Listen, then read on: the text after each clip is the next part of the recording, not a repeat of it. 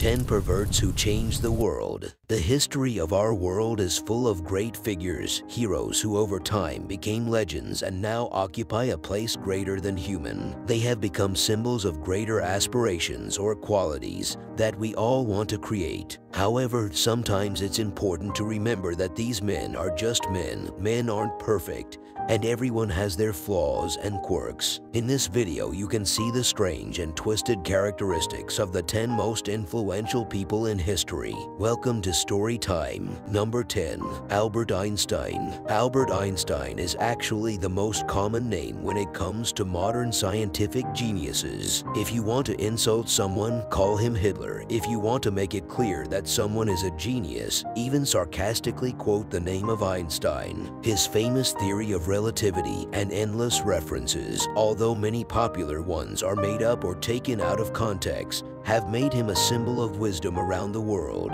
But while many may respect his ingenuity, he is still a man, and no man is perfect. For Einstein, his weaknesses were his sexuality and his inability to be faithful or enjoy a normal relationship with another human being. In 1903, Einstein married a woman named Myla and had a child with her, but after a couple of years of marriage, he really felt tired of the loyalty and left to start an affair with the woman. His choice was especially strange. His cousin Elsa Einstein who was divorced and already had two children with her ex-husband.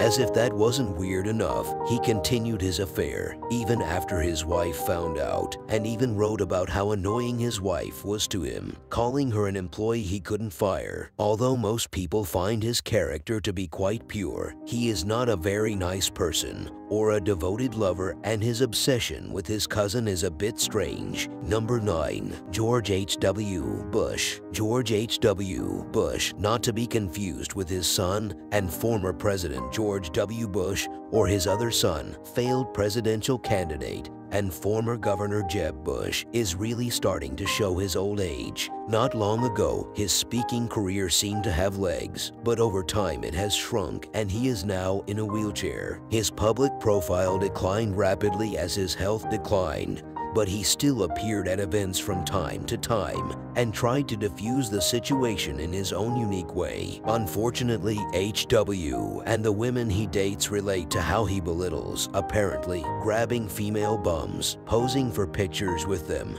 even joking that he's called David the policeman. The Me Too movement now has many women complaining about the former president's behavior, one of whom was 16 years old. The former president's response was basically to apologize through his representative and say he meant it. It was an innocent joke. Number 8. James Joyce James Joyce was a literary giant known for Ulysses and one of the most famous authors. Even though you may have read a book or two of his at school, you still know that he wrote a lot. As a classic writer, many may be surprised to learn how dirty James Joyce's mind really was, given what most would consider quite delicate today. A series of romantic letters between him and his future wife were eventually preserved for posterity. Her role has long been lost, perhaps out of respect for not being a celebrity herself. In any case, his letter alone is enough to make you wonder how they got along. As it turns out, James Joyce was obsessed with farting. In many exchanges, he commented on how much he enjoyed her fart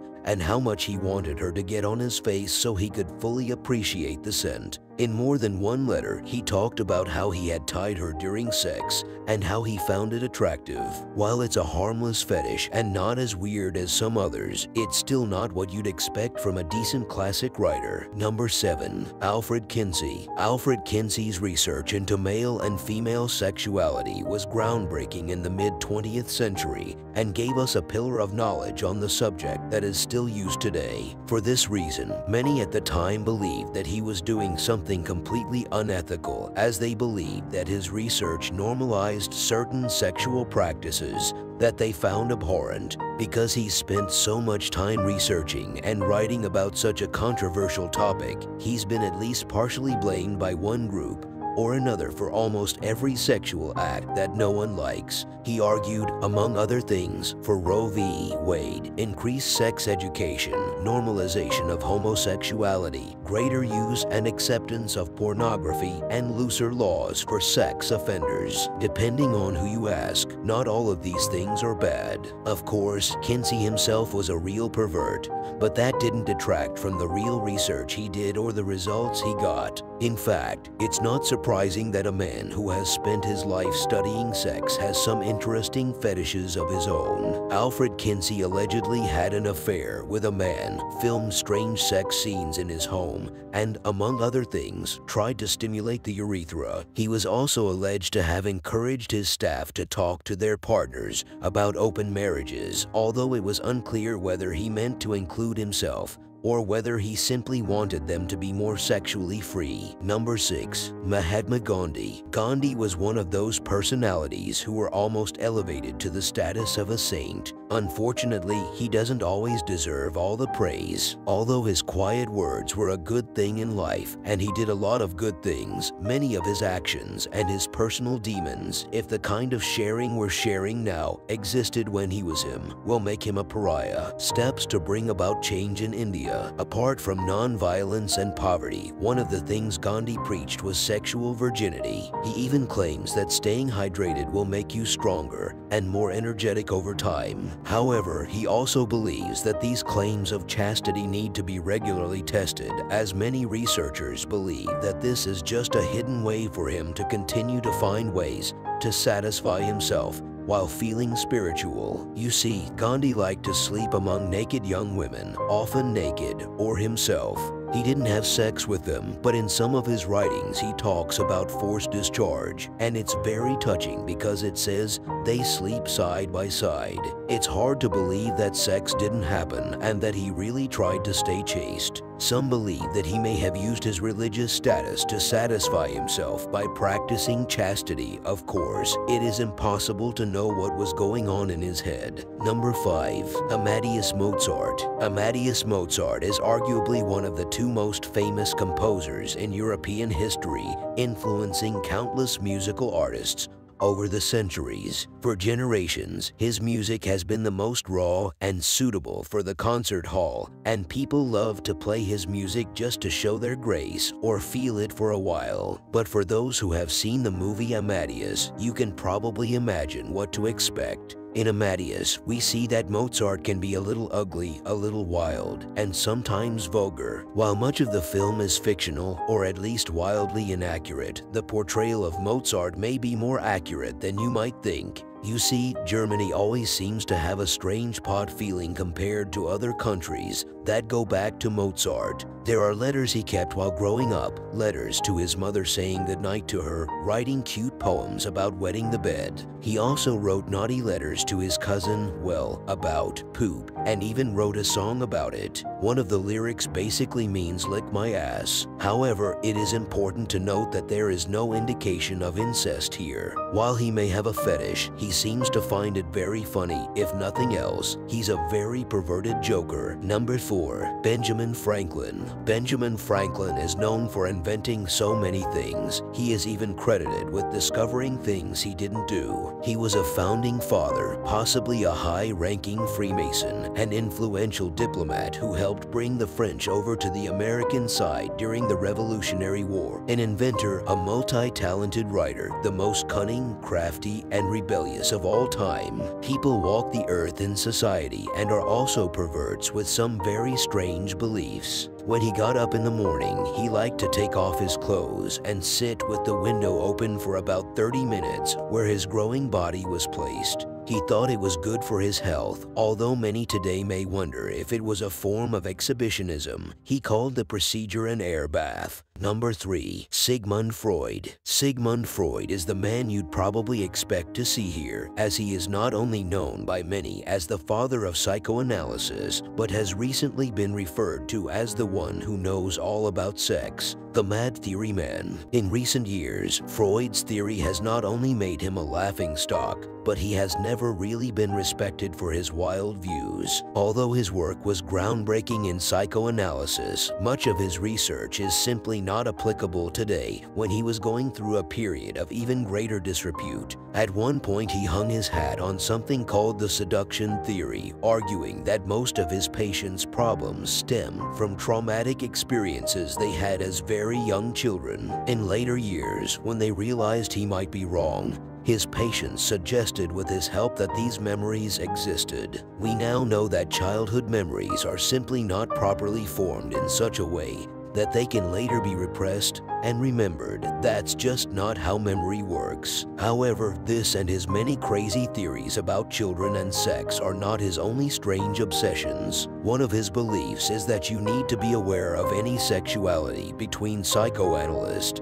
and patient, and he'll have them discuss things like masturbation fantasies or dreams. Most of his patients are young women at some point. At times, he had the idea of meeting his own lesbian daughter, whom he was trying to cure. Number 2. Leo Tolstoy Leo Tolstoy is best known for War and Peace and many other books that most people in America have never heard of. However, his name is synonymous with Russian literature and most people simply consider him a worthy classical writer. The truth is, however, that while Tolstoy may have been a brilliantly gifted writer, he was also a vain, selfish, hypocritical man who was definitely insane and tormented himself mentally throughout his life. He was often with prostitutes in his youth, but he eventually got over it and got married. However, even with 13 children, he was not a happy man. He became very religious, creating his own strange brand of Christianity and preaching abstinence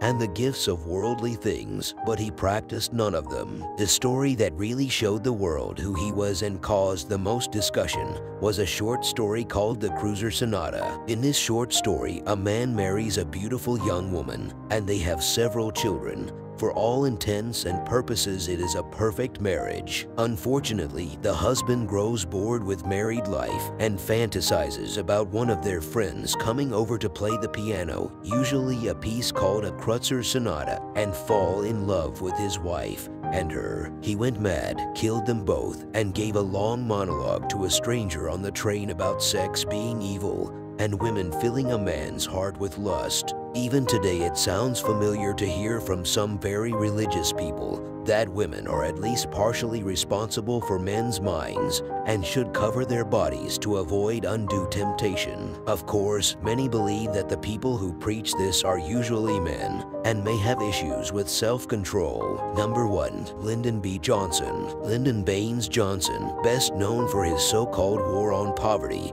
and a popular target of conspiracy theorists, who believe he may have been involved or directly involved in Kennedy's death would ultimately have more to do with the vice president than anyone else and more power than anyone to cover up the investigation. But while most people focus on either the subject or perhaps his decisions during Vietnam, there is little discussion today of just how depraved and abusive President Johnson really was. While President Trump may have made some really bad comments during his visit to the Hollywood Strip, Johnson's escapades involving his. Johnson would be a terrible scandal today, especially given the recent campaign against sexual harassment. The guy openly urinated in the parking lot, hit on co-workers in the bathroom, asked them if they've ever seen anything this big, and then had his assistant stand by the bathroom door and take notes while he defecated, among other things. Thing, he likes to call his mates jumbo without proper etiquette